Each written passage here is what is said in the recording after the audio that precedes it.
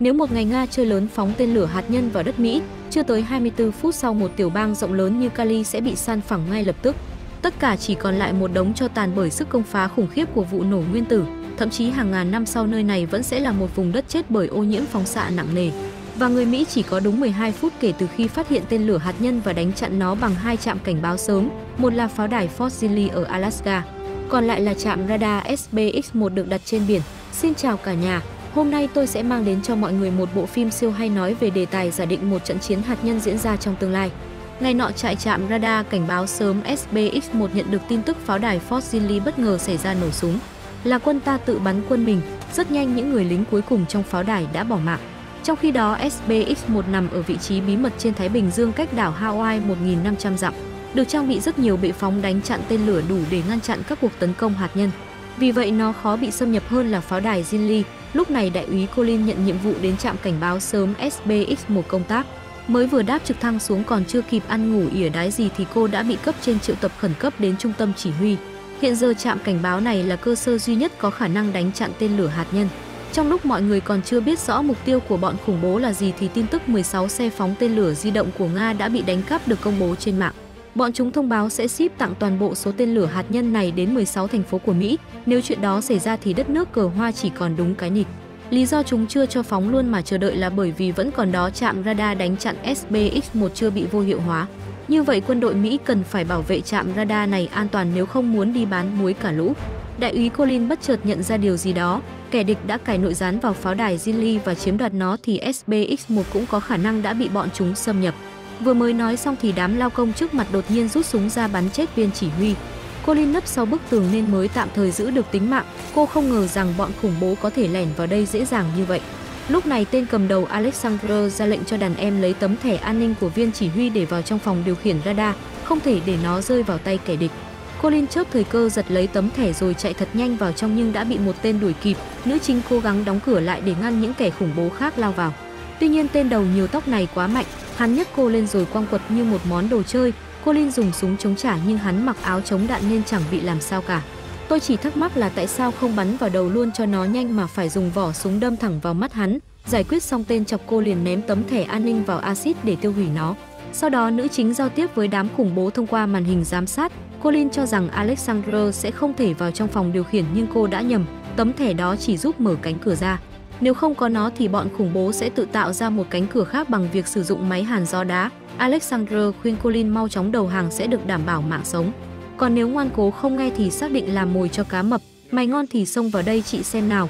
Thấy mình đã dọa nhầm người rồi nên Alexander đành phải chuyển qua biện pháp khác. Hắn dùng tính mạng của đại tá Henry để uy hiếp nữ chính mở cửa, nếu mày không mở thì ông ta sẽ đi bán muối. Ai ngờ Colin lại đáp rằng hông đâu bé ơi, ngay cả Henry cũng chấp nhận hy sinh để người dân nước Mỹ được an toàn. Ngay sau đó ông ấy đã bị tên cầm đầu bắn chết, dù vậy thái độ của nữ chính rất cứng rắn, dù chúng có giết chết bao nhiêu người đi nữa thì cô vẫn nhất quyết không mở cửa.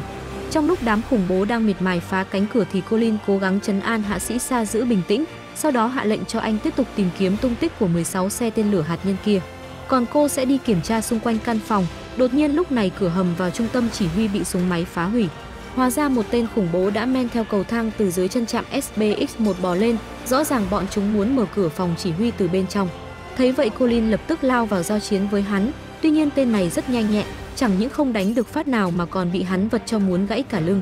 Hạ sĩ Sa chỉ là một chuyên gia máy tính, anh cầm súng lên muốn giúp đỡ nữ chính nhưng lại không dám bắn.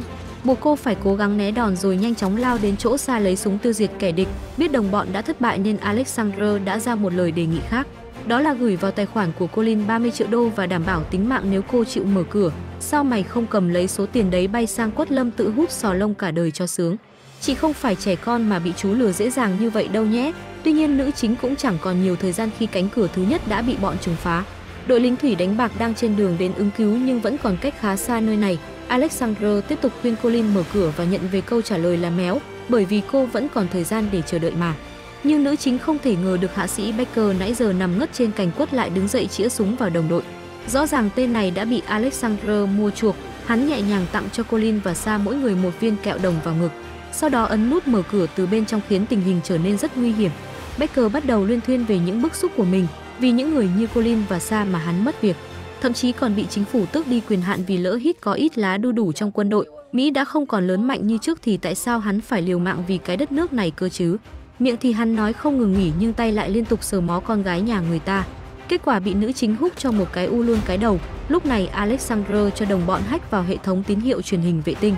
Từ màn hình lớn giữa trung tâm New York cho đến TV đang trưng bày trong trung tâm mua sắm đều hiện lên gương mặt đẹp trai lai chó của Alexander.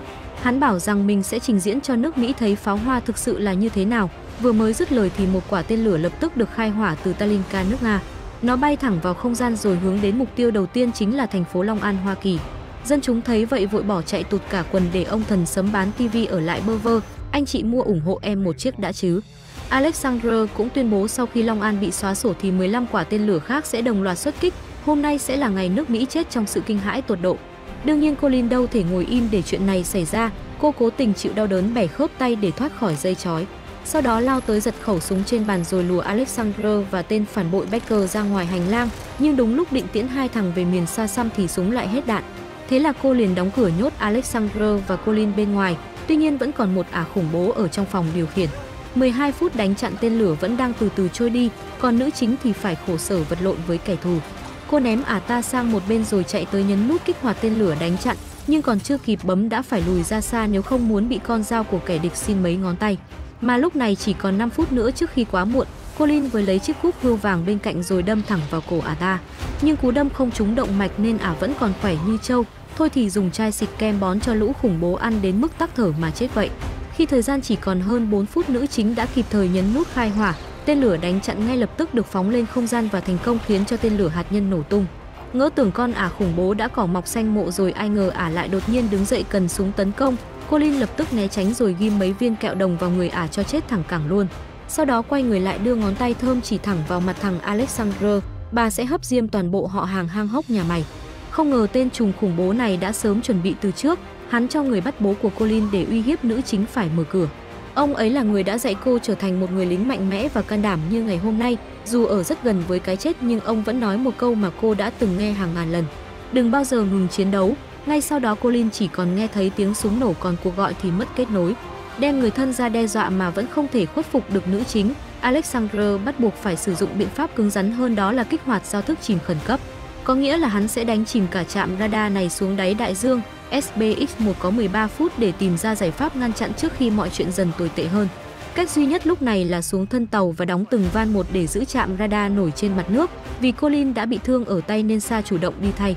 Sau khi nói những lời cuối cùng anh lấy hết can đảm nhảy xuống dưới biển, ngay khi vào trong thân tàu anh lập tức kích hoạt bộ điều khiển đóng van xả. Mỗi một ống xả được đóng sẽ cho họ thêm 2 phút để nổi trên mặt nước, nhưng đúng lúc này Sa bị tên phản bội phát hiện. Kết quả anh bị Baker nổ súng giết chết tại chỗ, dù đã đóng van nhưng Nhà Trắng cho biết 17 phút nữa đội lính thủy đánh bạc mới có mặt. Chắc bận đưa quân đi xin đều dầu mỏ ở khắp nơi trên thế giới nên chưa về kịp, mà đồng hồ hiển thị chỉ còn 15 phút nữa là toàn bộ trạm radar SBX1 sẽ biến mất hoàn toàn. Lúc này nữ chính chợt nảy ra một ý tưởng táo bạo, trong vòng 15 phút này cô sẽ dụ tên Alexander phóng hết số tên lửa hạt nhân còn lại rồi điều khiển tên lửa đánh chặn. Nhưng kế hoạch này hết sức mạo hiểm và bị các chuyên gia trong Nhà Trắng phản đối. Họ cho rằng Colin đang liều lĩnh mang tính mạng người dân ra để đánh cược. Bởi vì theo như tính toán thì tỷ lệ thành công của cô chỉ có 14% mà thôi, toàn cái bọn ngồi phòng máy lạnh rồi ăn nói xà lơ. Ít ra kế hoạch của tôi còn có phần trăm thành công trong khi mấy người chẳng nghĩ ra được cái đếch gì, giỏi thì chạy ra đây chiến đấu với đám khủng bố đi. Cuối cùng bà Tổng thống cũng chịu đứng về phía nữ chính, cứ làm mọi thứ có thể nhé cô gái. Chúng tôi trông chờ à nhầm, toàn thể nước Mỹ đều trông chờ vào cô. Tên phản bội sau khi giết chết hạ sĩ Sa xong liền leo thang vào phòng chỉ huy. Hắn định đánh lén Colin nhưng nơi này chẳng có ai cả. Alexander cùng đồng bọn nhanh chóng vào trong phòng kiểm tra. Chúng cho rằng nữ chính đã leo lên nóc trạm SBX-1 để bỏ trốn. Vì vậy Alexander liền ra lệnh khai hỏa toàn bộ 15 quả tên lửa hạt nhân còn lại. Hắn muốn trồng nấm khổng lồ cho nước Mỹ ăn. Becker cay cú vì bị Colin lùa như lùa vịt trước đó. Thế là hắn mặc giáp rồi cầm súng leo lên trên truy sát bằng được nữ chính. Lúc này ở bên trong trung tâm đám khủng bố cho đổ axit để phá hủy bảng điều khiển. Chúng muốn vô hiệu hóa hệ thống đánh chặn tên lửa, nhưng khi nghe Baker báo cáo không tìm thấy dấu vết của Colin bên trên, Alexander liền nghi ngờ nữ chính chỉ đang trốn đâu đó trong phòng. Cái tủ lạnh rất khả nghi nhưng làm gì có ai ngu đến nỗi trốn trong đó cho chết cóng. Đến chỗ tủ đựng bộ quần áo bảo hộ cũng chẳng có ai trong đó. Ngay khi tên đồng bọn định kiểm tra tủ quần áo khác thì Alexander lại đột nhiên kêu hắn quay về. Xui thay nữ chính đang trốn trong đó liền thò con dao mổ ra kết liễu mạng sống tên mùm lông giống lão xếp của tôi. sau đó cầm súng xả đạn liên tục khiến Alexander phải bỏ chạy tột cả lùn, nhưng khi cô định bấm nút kích hoạt tên lửa đánh chặn thì axit đã ăn mòn cái nút rồi. Thấy thời gian chỉ còn lại 7 phút cô nhanh chóng mang ổ cứng và máy tính của hạ sĩ xa lên trên nóc trạm radar. Sau khi cắm trực tiếp ổ cứng vào bệ phóng tên lửa Colin lập tức cài đặt chương trình khởi chạy, giờ chỉ cần bấm đồng ý là xong việc nhưng đúng lúc này cô lại bị Becker dí súng vào đầu. Ngay lúc ngàn cân treo sợi lông nách nữ chính chợt nhảy số, cô nói dối rằng Alexander đã chạy trốn và bỏ hắn ở lại, sau đó nhân lúc hắn mất tập trung liền cởi quần. A nhầm cởi thắt lưng ra quất liên tục vào mặt Becker, dù thời gian chỉ còn lại 5 phút nữa nhưng cô vẫn chưa thoát khỏi sự đeo bám của tên phản bội. cô Colin nhanh tay quấn dây thép vào cổ Becker rồi kéo cả hai rơi xuống cái lỗ. Hắn lập tức đang xuất khỏi trái đất nhưng nữ chính cũng rơi thẳng xuống biển. Trong lúc mê man định buông xuôi thì lời dặn của bố vang lên trong đầu giúp cô tỉnh lại. Vì một tay đã bị thương nên cô phải vất vả nén cơn đau để leo lên phía trên. Độ khó còn tăng cao gấp bội khi cô phải di chuyển theo phương nằm ngang. Kiểu này, ông chồng ở nhà chắc không dám bật vợ. Chứ lỡ ngỡ cãi lại một câu thôi là bị vả lệch sóng ngay. Mà lúc này lệnh phóng tên lửa đánh chặn chỉ còn hơn 40 giây nữa là hết hiệu lực. Mặc dù rất đuối và không còn nhiều sức lực nữa, nhưng cô vẫn cố gắng leo lên bên trên bệ tên lửa. Khi chỉ còn đúng 10 giây nữ chính đã kịp thời bấm nút Enter kích hoạt mã phóng. 15 quả tên lửa đánh chặn ngay lập tức được phóng thẳng vào không gian. Chúng nhanh chóng tiêu diệt toàn bộ 15 đầu đạn hạt nhân khiến pháo hoa nổ đầy trời.